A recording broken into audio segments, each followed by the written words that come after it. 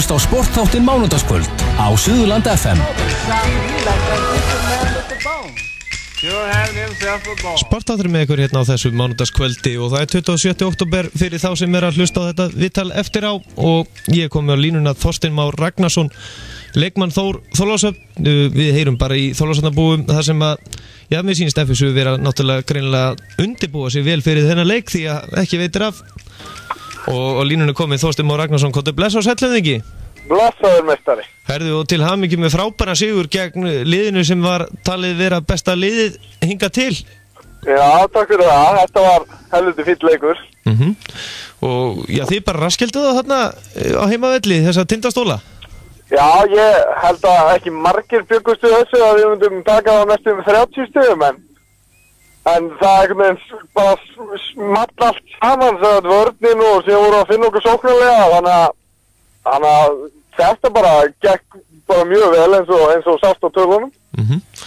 og já það var þarna eitt leikmaður hjá ykkur sem að já kom heldur betróður sem að ekki margi kannski kunnu kildi á hann sem að raða inn þristum þetta Já, Dabbi Kongur. já, Daði Arnar Aha. Ákusson Hann hérna, hann hefur alveg gert þetta æfingum síðan, síðan hann byrjaði að aða með vesturflokk hann að það var heldur fínt að hann setti þetta inn í leikina líka hann getur heldur betur sett hann er með flotta stóku þannig að hann bara setti 7-8 að þryggja og ég heldur með þess að stena línuna í, í fyrstum sem hann klikkaði þannig að hann var eiginlega 7-7 já, þannig að hann í rauninni hitti sjö þrista úr sjö skotum.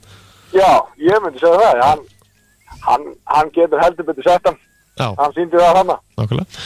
En uh, næsti leikur það er nú heldur betur svona nágranna slagur uh, það Já. er FSU Þór Þórlásöfn Já, það verður heldur spennandi og mér hlaka til að spila þann leiki og við ekki það alveg Hvenar mætti þú síðast FSU mönnum? Uh, ég bara, það var þegar ég var að spila með Hamri hérna fyrir, hvað, tveimur árum, Já. tveimur eða þreimur árum, já. Og, En það er langt síðan ég mætti á, á, með Þór, sem sagt. já. Það er helviti langt síðan. Það var nú ansið mikil stemning þegar þessi tvö lið voru að leika saman í fyrstu dildinni þá var svona, já, alvöru kettni þarna voru þólasarna búar mættir á móti selfisingum öskrandi yfir hvern annan Já, já, þetta er, það er alltaf gaman að hafa, sem sagt, eins mörg og hægt er hérna Suðlandslið í úrvastildinni. Það það væri frábært að Hamar myndi komast líka upp og hafa sagt, svona derbi leiki eins og þetta kallast og sem flesta. Það, það er langt skemmtilegast. Já, nákvæmlega En uh, hvernig leggst annars þessi svona leikur í þig? Þessi uh, mæta FSU liðinu?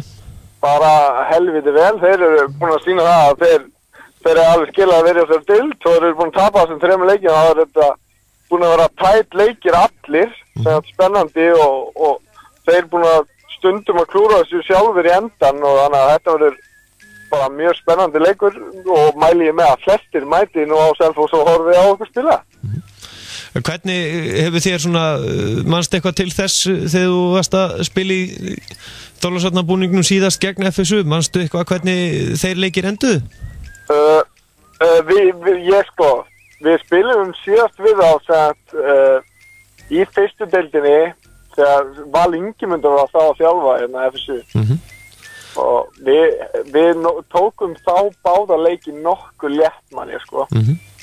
þá, það, var, var árið þegar við komst upp og þá við vorum náttúrulega, við töfum eiginlega ekki leik, við töfum var einu leik og það var næst síðasti leikur þannig að við vorum með helviti sterkan hóp þar í fyrstbildinni en já, ég man að að við tókum þá tvo leiki nokkuð létt Já, en hvernig er svona stemningi búin að vera í Þorlásöfnu fyrir leiktíðinni? Er búið að vera velmætt á leiki? Uh, já, það er búið að vera á þess að tvo heimaleiki er búin að vera nokkuð fín mæting en það mætti alltaf vera meira og, og, og mætti alveg láta heyri í sér í, í stúkunni. Það er, það er ekki búin að fá neitt græna drekafíling lengi en, en það var fínt að fá ungu strákana í aðeins að, að vera að syngja og, og hafa gaman sko. En það er alveg búin að vera fín mæting og, og mjög gaman að leikjum en, en það má alltaf vera betra og já, þið eru náttúrulega alltaf með þarna eh, sem að kannski önnu félög eiga ekki. Það er þessi dreki sem er þarna í dvala sem getur allt í náttúrulega í suðu Já, hann er, hann er í dvala og ég veit ekki hvort hann mun vakna strax sko, eða einhvern tíma aftur. Ég, ég þór ekki að fara með það. Nei, er hann, eh, er hann kannski bara í aðhaldi þessi dreki? Já, ég held það, ég, ég veit ekki hvað hann er alltaf En það var fínt að, að, víst að þeir eru svona, þessir eldri eru orðnir, orðnir kannski og, og gamli fyrir þetta að, að, einhverju ungir kom upp og bara eitthvað að leika sér að þessu. já, nákvæmlega. En uh, hvernig, svona, hópurinn ykkar, það er uh, búið að vera smá bre- reytingar og breytingar frá síðasta tímabili. Já, það er alveg búin að vera nokkuð mikla breytingar, bæði þjálfunulega séð, við, við spilum öðru sig og uh, Einar og Benni þó að séu báðir frábæri þjálfarar, þá eru mjög ólíkir uh, sem kemur að, að hvernig, þeir vilja spila. Síðan náttúrulega mistum við Nefn og Tom og Tom sem var alltaf mikill missir en við fáum þarna inn í, inn í liðið hérna Raka Nat, Raka Braga og Hraunarkall þannig að við náðum að fylla nokkuð vel út í það. Við náttúrulega fengum eitt sem er tveir átján sem er ekki amalist að fá. Þannig að já þetta, og við, erum, við æðum vel í sumar því að við vissum náttúrulega að við þurftum að stýpa liðið saman og, og, og vorum að læra, læra nýtt frá einari hvernig hann vildi, vil spila. Þannig að það er svona mik mikla nýjunga búin að vera í gangi hjá okkur í ár. Já, uh, en þið eru náttúrulega með alveg uh, hérna risa undir körfinu, hann Ragnar Nathanilsson. Hvernig á æfingun, hefur enginn tróðið yfir þennan mann á æfingum hjá okkur? Uh, nei, ekki, ekki æfingum hjá okkur sko. Vi, við náttúrulega rétt, ná, rétt getum tróðið þannig að við erum ekkert mikið að ná tróðið við rakka líka sko en En ég veit að það er nú nokkur sem tróðið yfir hann á, á landslýsæðingum og Haugur Páls var nú mest í því, heyrði ég. Þannig að það er alveg tróðið yfir ekka, sko. Já, þannig að það er alveg hægt. Það er alveg, það er alveg hægt, sko. Já, einmitt. En uh, ef þú lítur á FSU-liði sem þið er að mæta, er ykkur ákveðni leikmið þar sem að, uh, já, þið viti bara fyrirfram að það, þeir mega bara ekki komast í stuð? Sko, FSU-lið er þannig að ef þeir bara allir er að setja þá eru þeir bara mjög erfiðir og, og, og ekki sérstaklega, sérstaklega heimavilli. Þá geta heldur betur sett hann og það er náttúrulega Ari Gilva sem getur vel sett hann og síðan náttúrulega fengur bara mjög gott lott og að fá Chris sem er fantaleikmaður þannig að þeir, það geta allir sett hann í FSU-liðinu og það er eitthvað sem við þurfum að, að, að stoppa til að, til að vinna. Já, nákvæmlega.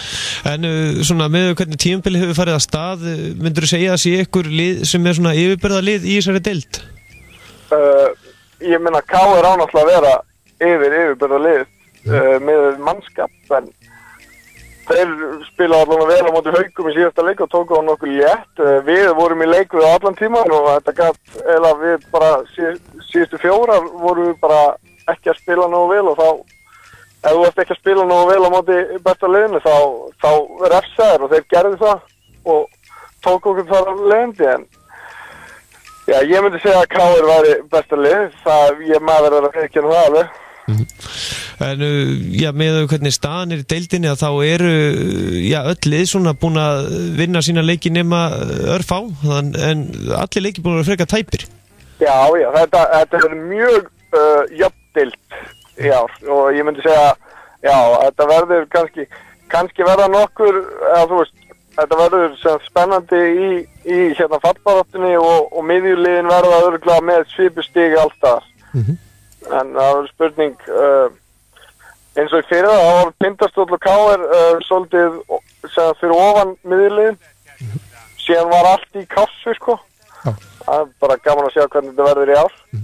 En nú ert þú með stóra bróðin sem svona aðstóða þjálfara eða hann er sem aðstóða þjálfari Þór hvernig gengur þér að hlusta á hann því að, já, ef maður þekki bræður rétt að þá rífast þeir oft Já, ég, ég, ég slepp alveg að rífast í bræðið mín og ég, ég hlusta bara á það því að þeir, þeir verða svo æstir og ég er rólega típan af bræðurunum þannig að, þannig að þetta, þetta sleppur alveg sko. Já, þú ert, þú ert rólega típan að Ég er rólega típan af bræðurunum þannig að það er best að hafa mig þarna og síðan náttúrulega hjörtur sjúkarþjálfari þannig að ég þarf Ég þarf að hlusta á báða. Svo þeir eru að passa að ég verð ekki meittur allt sísoni þannig að, það, þannig að ég hlusta bara. Já, og, Það er langsniðar já, svo þegar þú verður eldri þá kannski fara þeir bara að hlusta því eða ekki? Já, jú, jú, það, það fer að koma því. Já, Herðu, En þessi leikur kortir yfir sjö er búist við mörgum þólarsson að búið með það ekki á þennan leik? Jú, víst að, víst að þetta er nú bara í nágrinn. Þá ætla ég nú rétt að vona að allir sem mæta heimanleiki mæti nú bara og, og gerir sér ferð á Selfoss þetta er nú ekki það langt þannig að ég vona bara að verði full stúka báðum einn Nákvæmlega. Og verði smá háaði og, og hafa gaman eh, þegar svona derbíslæður er í gangi. Það verður ekkit annað en Suðurlandskjaldi þannig í þú Já, segðu. Engin spurning. En uh, þú skýtur núna snöggvast á lokatölu leiksins, hvernig endar þetta? uh, Ég ætla náttúrulega líklega að segja að við vinnum. Uh, Ég veit nú ekkert hvernig við vinnum það fyrir allt eftir hvernig við spilum og að stendi hennar leik hvort að hvað spennustíði verður hátt en, en við tökum allan hennar leik. Já. ég er alveg alveg tipptopp á því. Já, nákvæmlega. Uh, Rétt í lokin, uh, ertu búin að sjá eitthvað til uh, félagsins þú varst að leika með Hamri í fyrstu deildinni?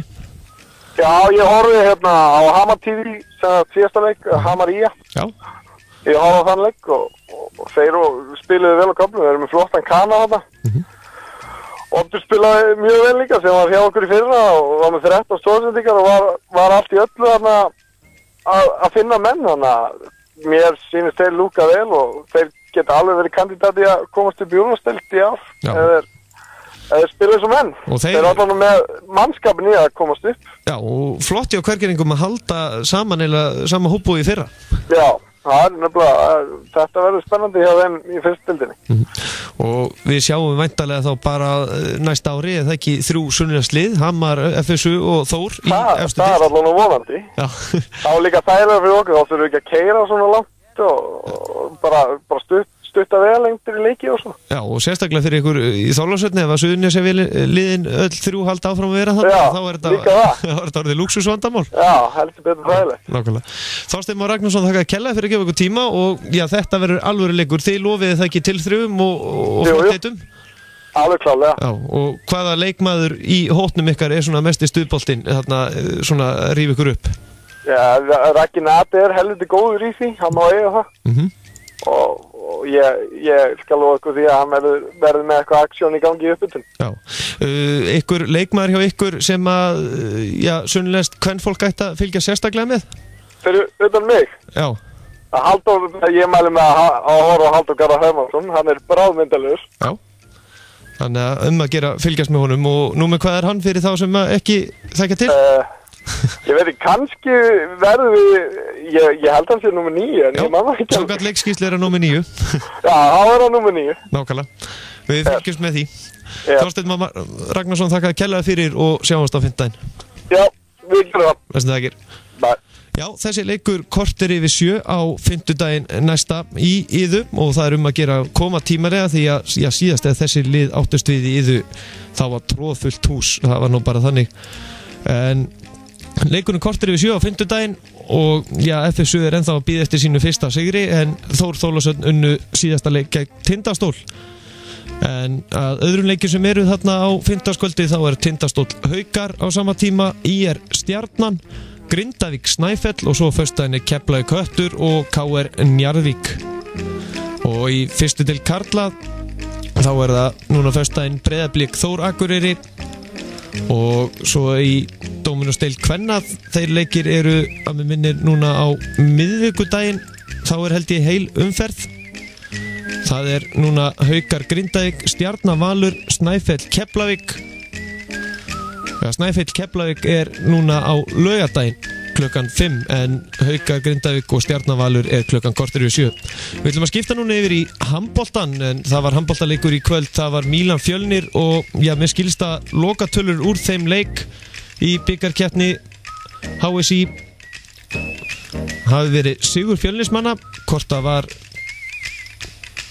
hvort það var 27 22 að með minnir. Ég er ekki með það beint fyrir fram að nefið á mér 22-27 og við ætlum að heyri þjálfara liðana hér eftir smástund farið ekki langt. Sportátur með ykkur hérna til halv 11 í kvöld. Þú ert að hlusta á sportþáttin mánudagskvöld á Suðurland FM